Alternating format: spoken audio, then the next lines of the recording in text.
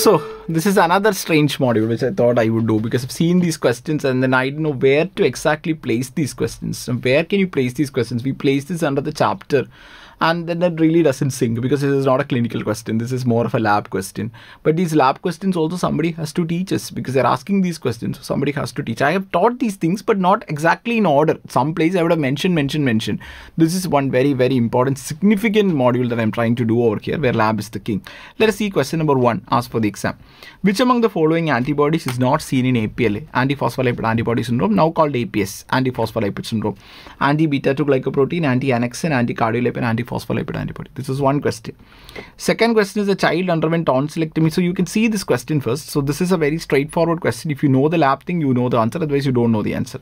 This is a more clinical plus lab kind of a question. A child underwent tonsillectomy at 6 years of age without any complications. At the age of 12, during a preoperative screening for laparotomy, he was found to have elevated APTT, APTT with normal PT. So elevated APTT with normal PT, family history not contributory. What is the diagnosis? So you have two questions here okay then we'll come to the other two questions. Okay so these two questions are there. How do you approach these two questions? Which of the following antibodies is not seen in aps okay so this is more if you know aps then probably you can answer this. Let us see what does it actually mean and then we'll come back to the remaining questions. Let us see the antibodies which are actually seen in aps so that brings us to this very important important discussion. Aps was previously called as antiphospholipid antibody syndrome, APLA syndrome. Now we are not calling it as APLA syndrome, we are just calling it as antiphospholipid syndrome. We'll see why. So we are not calling it as APLA syndrome, we are just calling it as antiphospholipid syndrome, just antiphospholipid syndrome. What is the meaning of this term called antiphospholipid syndrome? Okay, so that means that a person should be having a clinical criteria to call it antiphospholipid syndrome there should be a laboratory criteria to call it antiphospholipid syndrome. When clinical and laboratory criteria are together satisfied, we call it as APS. So clinical criteria should be there, laboratory criteria should be there. When they are together satisfied, we call it as antiphospholipid syndrome. That much you've understood. Let us see what is the laboratory criteria. So laboratory criteria. Laboratory criteria means you should be having any of these three antibodies, okay? Any of these three antibodies which are present twice, okay? Which are present twice over a period of 12 weeks. Over a period of 12 weeks, you are having any of these three antibodies present twice over a period of 12 weeks, then that is actually called as positive. So you can have laboratory criteria means any one of these three antibodies. The first antibody is called anti-cardiolipin antibody. Anti-cardiolipin antibody. Uh, second one is called anti-beta 2 glycoprotein antibody. So third one, second one is called anti-beta 2 glycoprotein antibody. Third antibody we will see later. So first two antibodies, anti-cardiolipin antibody, anti-beta 2 glycoprotein antibody. IgG bar IgM, IgG bar IgM, IgG bar IgM, IgG bar IgM. As per the criteria I'm saying, this is called modified Sapporo's criteria which we discussed in detail. So IgG bar IgM, here also IgG bar IgM. Here also we are doing checking by ELISA. Here also we are checking by ELISA. Here also we are checking by ELISA. Here also we are checking by ELISA. And this is the most sensitive. This is the most sensitive. Oh, here nothing like that. So this is the most sensitive test. And value of more than 40 IgG uh, phospholipid units we call it is. So more than 40 is very significant here. Value of more than 40 significant. Here there is no value like that to remember. So two antibodies are there. Cardiolipin is there. Beta 2 glycoprotein is there. Third antibody is called lupus anticoagulant. So third antibody is called lupus anticoagulant. This is the most specific antibody. So this is the most specific antibody. This antibody is detected indirectly. Indirectly. Right? We'll see how it is detected. Indirectly, it is detected by its potential in vitro to increase APTT. So its potential in vitro to increase APTT is what we are actually testing for. So indirectly, it can actually prolong your APTT. Indirectly, it can actually prolong your APTT. This is one thing. It can also prolong your DRVVT. So diluted Russell's Viper venom test time or DRVVT also it can actually prolong. So you have lupus anticoagulant which is the most specific antibody which is an indirectly detected antibody by prolongation of APTT or by prolongation of DRVVT. This is called the lab criteria for APS. Very important question. This is called lab criteria for APS. Everybody knows this is the lab criteria for APS and I think all of you would have studied this also. Having seen this, let us try to go back to the question. So once again, I'll tell you anticardiolipin antibody, IgG or IgM, present in titers, titer more than 40 is what is significant, at least 12 weeks apart, two times measured by ELISA, correct. Anti-beta 2 glycoprotein, IgG or IgM, 12 weeks apart, ELISA.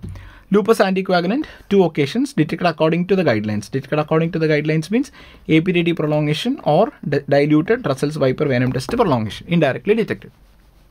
Okay, so these many things you know. Okay, this is the lab criteria for Sapporo. Modified Sapporo criteria, the lab part. So which among the following antibodies not seen in APS, previously called APLA? So anti-beta 2 glycoprotein, seen. We have seen that now anti-cardiolipin seen we have seen that now then we have a confusion between the next two annexin there is a confusion phospholipid antibody there is a confusion how do we answer this question it's a tough question it's a tough question it is just trying to test out okay whether you know why this name apla was changed to aps this is just trying to test out that. When I say anti-phospholipid antibody syndrome, it was previously called anti-phospholipid antibody syndrome we have a feeling that we have a lot of anti-phospholipid antibodies. What are we having here? We are not having any anti-phospholipid antibodies. Because we are not having any anti-phospholipid antibodies, we change the name from APLA to APS now. What is the meaning of APS? It is just called anti-phospholipid syndrome. Okay, phospholipid syndrome. Because if you look at this molecule called platelet, there is something called phosphatidylserine here. Phosphatidylserine is seen in the inner membrane.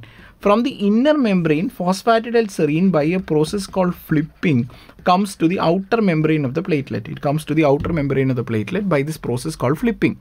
Once phosphatidylserine comes to the outer membrane of the platelet or surface of the platelet, this phosphatidylserine will bind to beta-2 glycoprotein or annexin so many things are there of which two important things are beta 2 glycoprotein and annexins so beta 2 glycoproteins and annexins are phospholipid binding proteins correct they bind to what? They bind to phosphatidylserine. So they are called as phospholipid binding proteins. In this disease called APS, we are having antibody against them.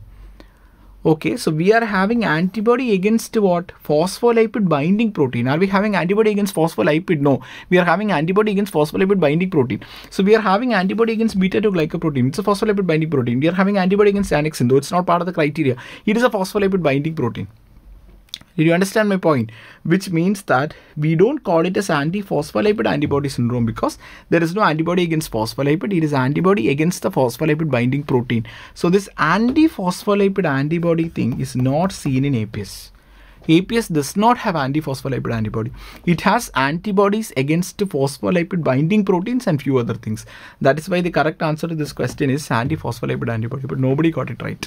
Majority of the students got it wrong okay so i once again repeat as per the criteria we are having three antibodies and so many antibodies are there which are not part of the criteria the three antibodies which are part of the criteria are anti-cardiolipin anti-beta 2 glycoprotein both igg and igm both igg and igm both detected by ELISA, both detected by ELISA and have to be positive twice over 12 weeks. Third is LAC.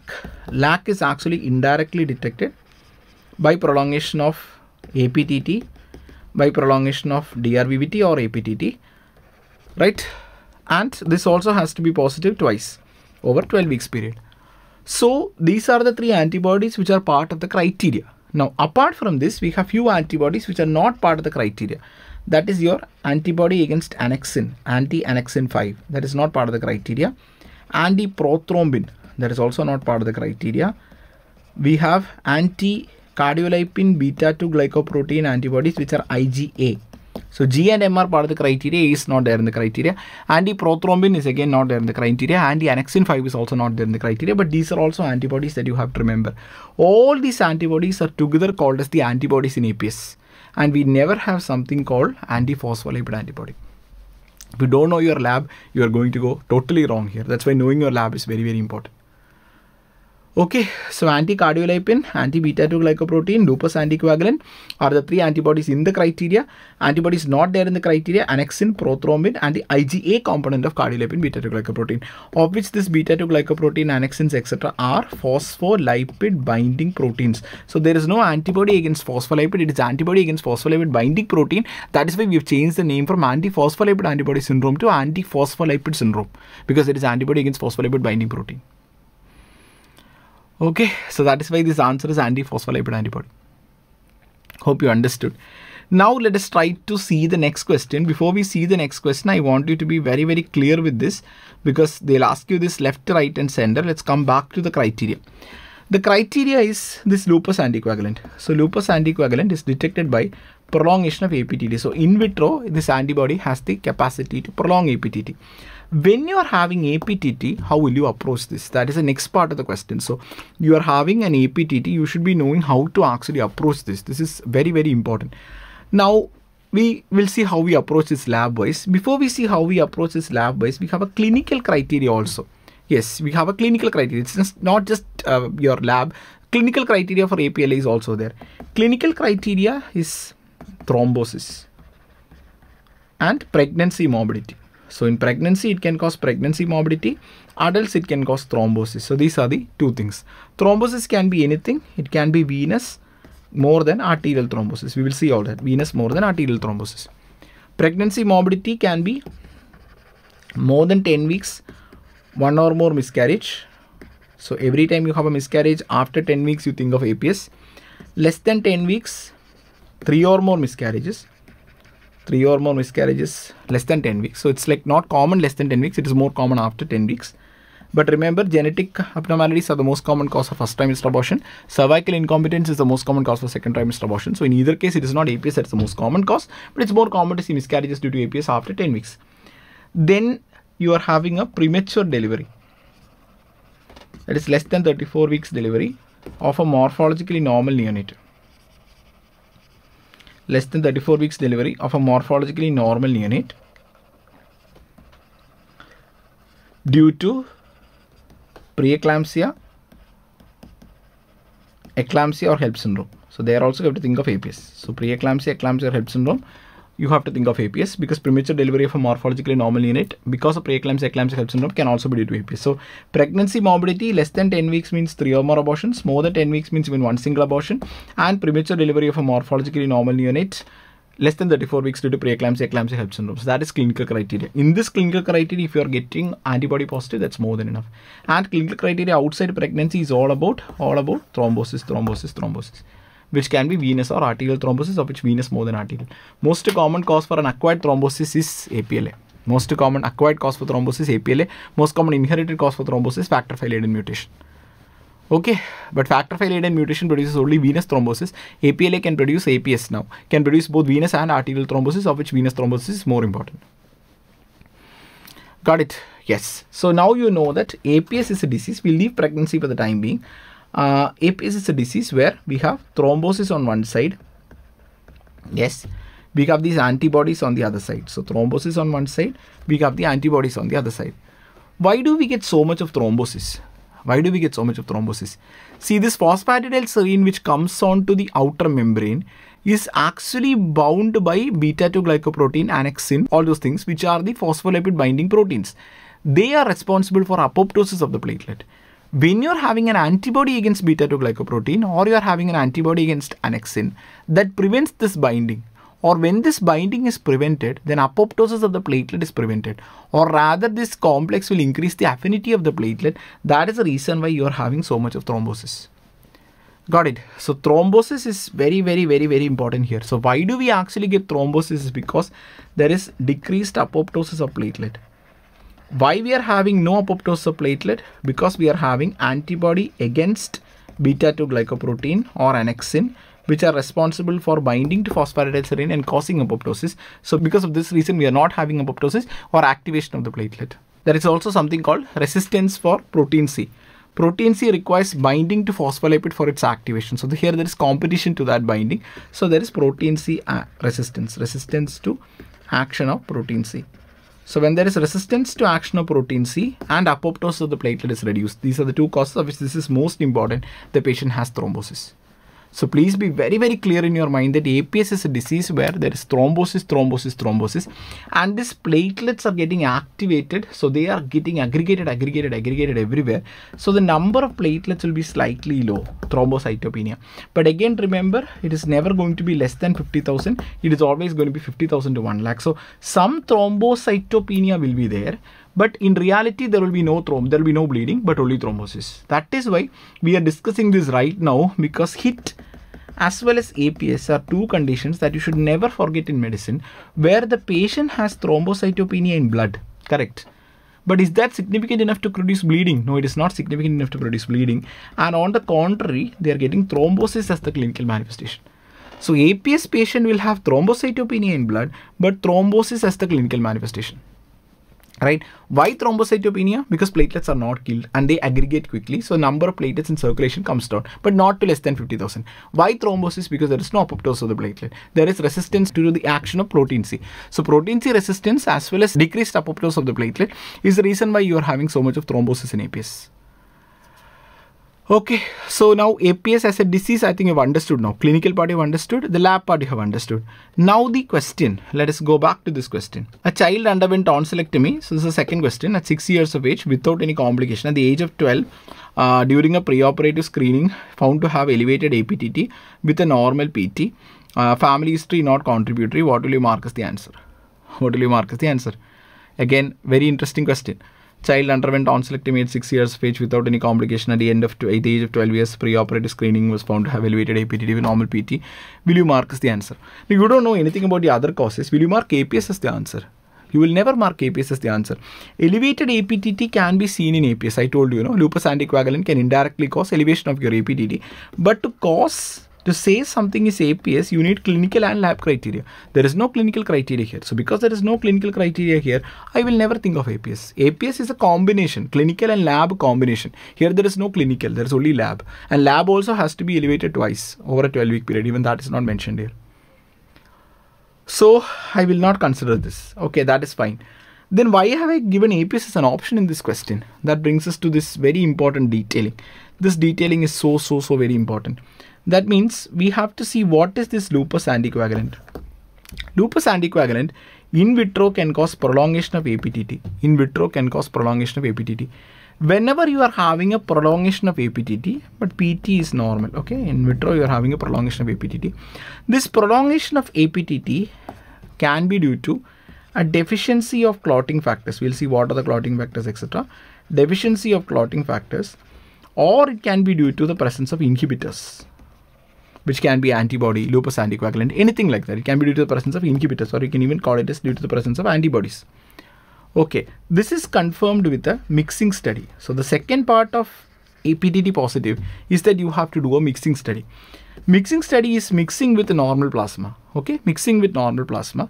After mixing study, if APTT normalizes or APTT is still prolonged, after mixing study, if APTT normalizes, then there is a factor deficiency correct? After mixing study if APTT normalizes it is a factor deficiency.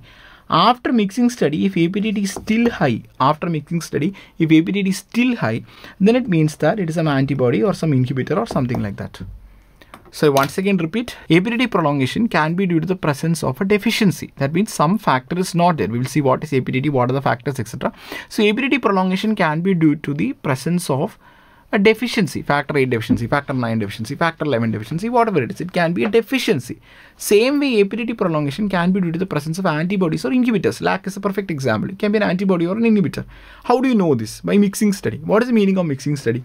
Patient's plasma, normal plasma. APTT is prolonged, so mixing with normal plasma, 1 to 1 ratio. Now if APTT normalizes, it means that it was due to the presence of deficiency. Because if there is a deficiency you mix with a normal plasma it gets corrected. If it is due to the presence of an inhibitor or an antibody even if you mix with normal plasma it is not going to be corrected. So if APTT normalizes after mixing study then it is a factor deficiency. So APTT does not normalize after mixing study then it is a problem with an inhibitor or an antibody which is very likely to be LAC. Okay and this LAC APTT will be corrected by adding excess phospholipid So will be corrected by adding phospholipid. So this LAC will be corrected by adding excess phospholipid. Okay, so hope I have not confused you.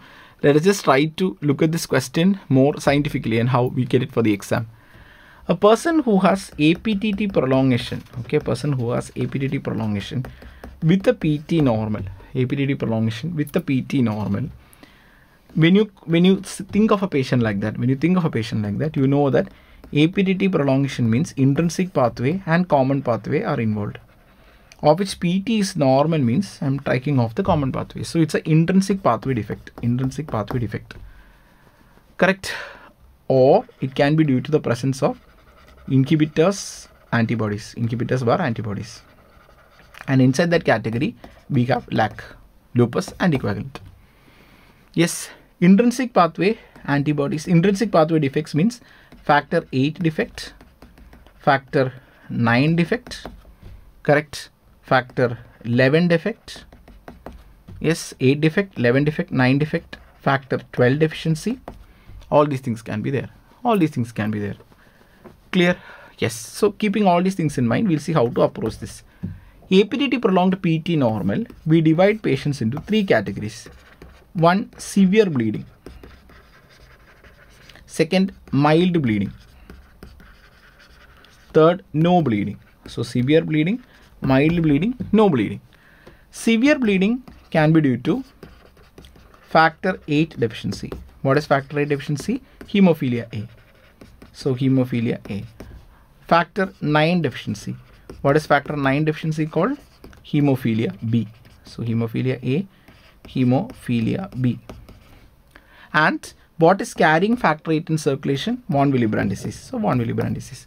Factor 8 has a half-life of 12 hours. If von Willebrand factor is not there, it will come to 2, 2 and a half hours. So von Willebrand disease. So von Willebrand disease, factor 8 deficiency, factor 9 deficiency are the causes for a prolonged APTT with severe bleeding and normal PT. Mild bleeding means it is a factor 11 deficiency. So factor 11 deficiency. This is called hemophilia C. So hemophilia A is 8 deficiency, hemophilia B is 9 deficiency, hemophilia C is 11 deficiency, but this is autosomal recessive. 9 and 8 are all X-linked recessive. 9 and 8 are X-linked recessive, everything else is autosomal recessive. Von Willebrand disease is autosomal dominant. So 9 and 8 deficiencies are X-linked recessive. 8 is more common, that is hemophilia A. Then you have hemophilia B, that is 9 deficiency. Then you are having von Willebrand disease, that is autosomal dominant. And then you are having factor 11 deficiency, mild bleeding, autosomal recessive.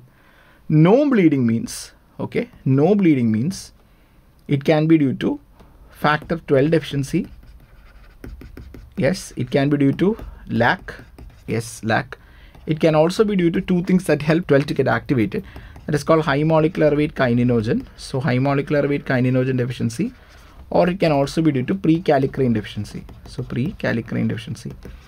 So APTT prolonged, PT normal and the patient having no bleed means factor 12 deficiency is possible, LAC is possible, high molecular weight kininogen deficiency is possible, prekallikrein deficiency is also possible. Of which factor 12 deficiency very very important for the exam, LAC also very very important for the exam. In this setting, we do mixing study. In this setting, we do mixing study. At the end of mixing study, if APTT normalizes, if APTT normalizes, that means that it is a factor deficiency, factor deficiency. And still APTT prolonged means it's very likely to be LAC very likely to be LAC. So part 3 of the study is that you're mixing, you are actually repeating the study with high phospholipid. With high phospholipid, you're mixing with a plasma that contains very high phospholipid. So at that point, APTT normalizes. So high phospholipid plasma, APTT normalizes. This is equal to LAC. This is the sum total of what we have studied. The very simple thing, if you know it's okay, otherwise you please study. Now it's very important, pivotal, and then we'll come back to the question. So APTT prolonged PT normal, severe bleeding, hemophilia A, hemophilia B, von Willebrand's disease. APTT prolonged PT normal, mild bleeding, hemophilia C, factor 11 deficiency. APTT prolonged PT normal, no bleed means can be deficiency of 12 pre kallikrein or high molecular kininogen or can be the presence of LAC. For that, look for mixing studies. At the end of mixing study, APTT normalizes means factor deficiency. APTT still prolonged means LAC. How do you confirm? Mix with the plasma that contains high phospholipid. Then APTT becomes normal in LAC. Okay, this much you know. Now we'll come back to the question asked for NEET. This is the question asked in NEET. A child underwent tonsillectomy at the age of 6 years without any complication, which means at 6 years there was no bleeding. Age of 12 during laparotomy, preoperative screening found to have elevated APTT. So this is a case of APTT elevation, PT normal, but no bleed anywhere.